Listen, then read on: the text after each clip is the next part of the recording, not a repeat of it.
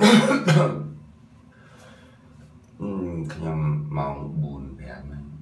ប៉ុន្តែមានមានដេកគុណលីចាន់សុផលនិយាយពីអ៊ីស្រាអែលខ្ញុំស្ដាប់ប្រហែលនាទីនិយាយទៅហេតុផលគាត់អឺល្អល្អចំពោះខ្ញុំស្ដាប់មកប៉ុន្តែតកតងនឹងអឺ យោបាយខ្ញុំអត់កាត់ទេអើខ្ញុំនឹងកាត់ចោលណាព្រោះយោបាយយើងមើលទៅវាថាពេលខ្លះគាត់ចង់និយាយថាយោបាយប៉ុន្តែនេះជាគាត់តែអីប៉ុន្តែខ្ញុំចង់រើទៅចំណុចល្អដែលខ្ញុំនឹកឃើញដោយគាត់និយាយហើយសង្ឃឹមថានេះចិត្តខ្ញុំចង់ខ្ញុំស្រឡាញ់អីដែលគាត់និយាយហ្នឹងអញ្ចឹងខ្ញុំរកខ្ញុំរកហ្នឹងខ្ញុំថតតាមផ្សេងផ្សេងហ្នឹងឲ្យស្ដាប់វិញអានេះជាចិត្តខ្ញុំចង់និយាយដល់ ដែលចិត្តខ្ញុំចូលចិត្តអរគុណខ្ញុំយកតែចូលចិត្តទេណាអូខេដែលខ្ញុំគិតថាត្រូវខ្ញុំនិយាយពីពីគាត់មកអឺ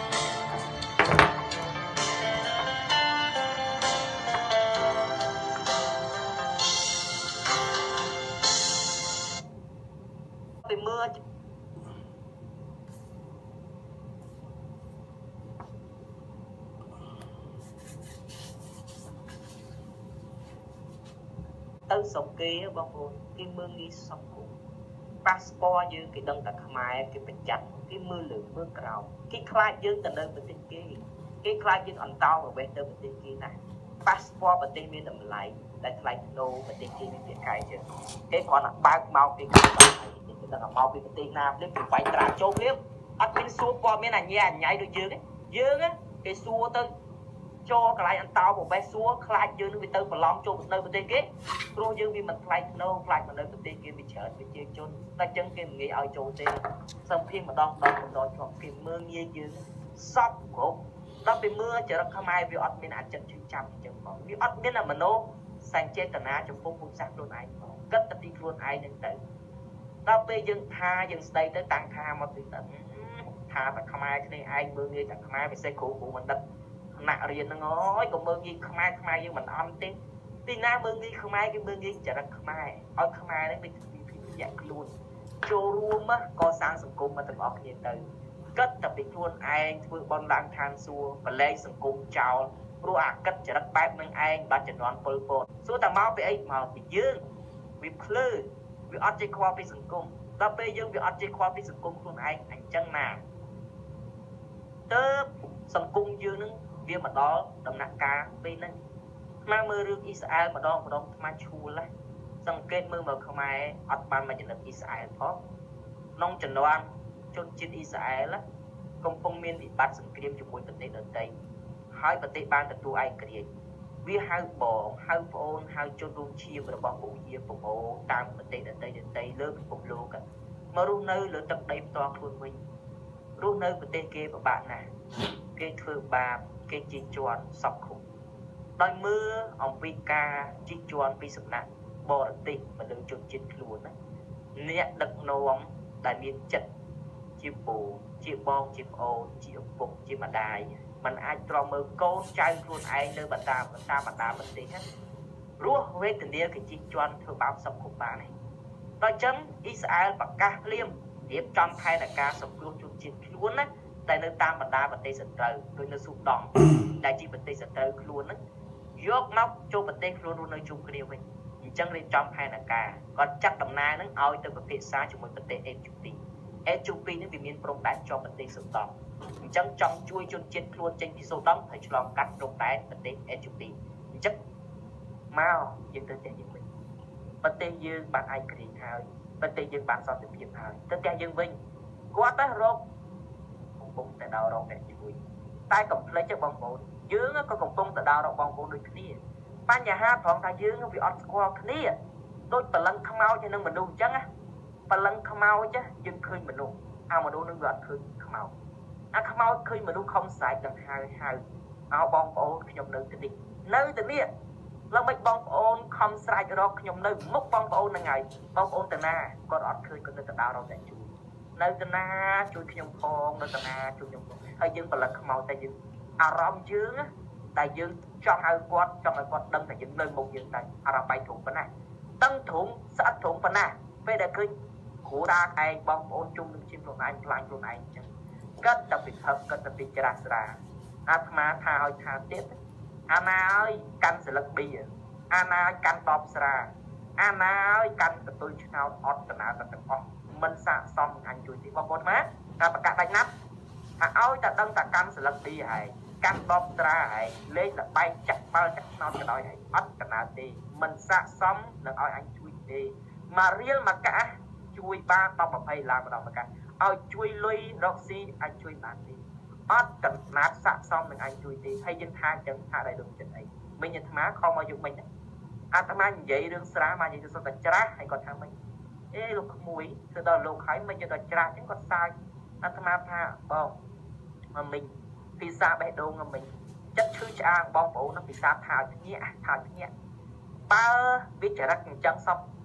ស្ដាប់ទៅស្ដាប់ទៅម្ចាស់ថ្លៃបងរៀនរាល់ថ្ងៃម្ចាស់ថ្លៃថាជេស្ដាប់បាន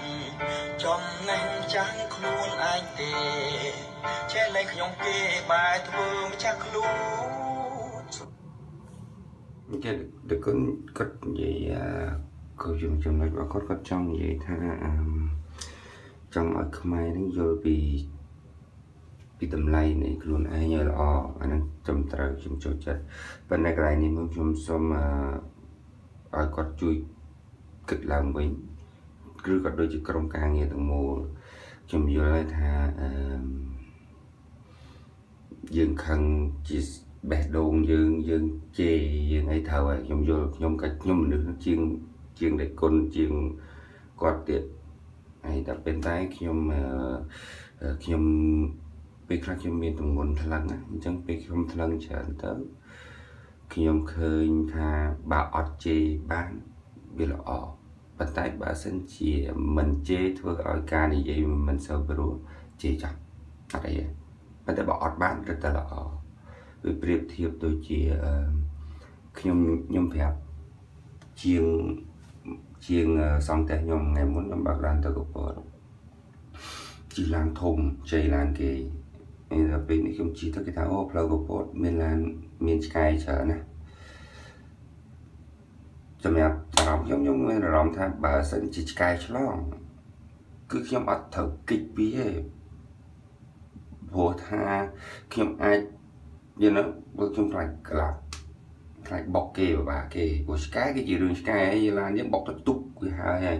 ហើយខ្ញុំគិតខ្ញុំគិតចឹងគិតចោលត ទៅហើយទៅផ្ទះទៅទៅហូបការគេ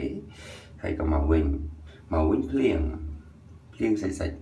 ដល់ពេលអញ្ចឹងហើយក៏អឺចែកដល់នេះមកដល់វគ្គកណ្ដាលផ្លូវឃើញឆ្កែមែនយល់ទេគាត់ទៅឃើញខ្ញុំមានអារម្មណ៍ដូចខ្ញុំនិយាយចឹងខ្ញុំក៏បុកភុងបុកភុងគាត់ក៏ងាកមើលថាអត់ស្អែកឡើងស្អែកឡើងក៏គាត់ ក៏ខ្ញុំចង់ថាឃើញខ្ញុំខ្ញុំជឿគិតឆ្កែគាត់ថាមានអីណាពូពូអត់គិតបានថាប៉ុន្តែបើពូអាចគិតបានចំណេញអត់ខូចឡានពូចង់និយាយចឹងខ្ញុំចំណុចទាំងមួយខ្ញុំយកមកគិតថាអូខេល្អថាល្អថាខ្ញុំគិតថាបើឃើញឆ្កែខ្ញុំត្រូវតែបុកប៉ុន្តែបើសិនជាយើងដឹងថាយើងសុកយើងគិតបានយើងគិតទៅវារស់ជីវិតឆ្កែនឹងដែរ អញ្ចឹងអានេះជាហើយតើតោះនឹងគាត់និយាយមួយទៀតថាអឺអឺស្អប់មនុស្សលេងបៀស្រាស្រីលបែងចាក់បាល់ទាំង5អីដែលគាត់លើកពីមកហ្នឹងខ្ញុំចង់ឲ្យគាត់បថយព្រោះខ្ញុំគិតថាមនុស្សលេងស្រីស្រាបៀលបែងហ្នឹងមិនមែនជាមនុស្សអាក្រក់ទេហើយក៏មិនមែនអ្នកធ្វើទាំងអស់ហ្នឹងធ្វើឲ្យខ្មែរអាក្រក់ដែរចង់និយាយថាមិនមែនតែចំណែកមួយទេអ្នកដែលជួយឲ្យខ្មែរអាក្រក់គឺអ្នកដែលគិតខុស យល់ទេគិតខុសពីបំណងខ្មែរចង់បានអញ្ចឹងមិនមែនថាផឹកស្រាគិតខុសទេយល់ខ្ញុំគុំចង់បដោតតែមួយខ្ញុំចង់និយាយថាបើអ្នកឯងចង់បដោតតែ5ហ្នឹងខ្ញុំនិយាយមិញអឺគួរតែបដោតដល់អ្នកបោកគេគួរតែបដោតដល់មេកុងទីនបោកគួរតែបោកអ្នកខ្ចីលុយគេមិនសមហើយគួរតែនិយាយពីអ្នកដែលកុហកមនុស្សអ្នកដែលរាល់ថ្ងៃហ្នឹងរៀនអនឡាញកុហកមនុស្សលក់របស់គីមីអឺ ធ្វើមហូបទិញថោកកុហកគេថ្លៃយល់ណាគួរតែគួរតែគួរតែថាតពួកនេះផងបើសិនជាចង់ថា5ហ្នឹងគួរតែថាអ្នកបោគួរតែថាពួកអ្នកមានទាំងឡាយធ្វើបាបអ្នកក្រគួរតែថាអញ្ចឹងអញ្ចឹងផងយល់ទេបើអញ្ចឹងបើមិនថាទាំងអស់ហ្នឹងទេមិនកុំបន្ទោសអ្នកលេងវាលេងល្បែងព្រោះអ្នកទាំងអស់ហ្នឹងយើងអាចបាត់បានទាំងអស់បើយើងចង់ យកឲ្យប្រទេសរត់នេះនេះជារឿងគេខ្ញុំចង់និយាយថាបើនិយាយ5ហ្នឹងមិនមែនតែ5ហ្នឹងយើងយកមកគិតទេមានមួយលានទៀតយើងត្រូវគិតអញ្ចឹងកុំនិយាយច្រើននិយាយតែមនុស្សអាក្រក់មួយបានហើយមនុស្សមិនចំណេញជាតិបានហើយមិនមែនខ្ញុំស្ដីឲ្យកូននេះខ្ញុំចង់និយាយថាហ្នឹងឯងអារម្មណ៍ខ្ញុំឃើញខ្ញុំចេះនិយាយយ៉ាងដូចគ្នាអូខេអញ្ចឹងនេះជាចំណុចដែលខ្ញុំចង់លើខ្ញុំគិតថាបើខ្ញុំនិយាយខ្ញុំខ្ញុំអត់ចង់បន្ទោសអ្នកផឹកស្រាលេងស្រីល្បាយយើងយើងត្រូវគិតដល់អ្នកក្បត់គ្នាត្រូវអ្នកមិនគោរពច្បាប់ គិតដល់ខ្មែរយើងដែលមិនគិតពីអនាគតខ្លួនឯងអានឹងសំខាន់ជាងកុំនិយាយថាមកពីគេលេងបៀគេមិនខ្វល់ពីប្រទេសយើងមែនទេមែនទេ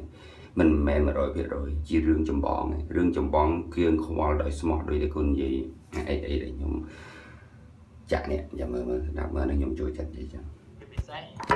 តើទៅនឹងរដូវភ្ជុំបិណ្ឌនេះទៀតយើងតែតែនិយាយអំពីទំនៀមទម្លាប់ប្រពៃណីរបស់ខ្មែរយើងដែលតែងតែប្រព្រឹត្ត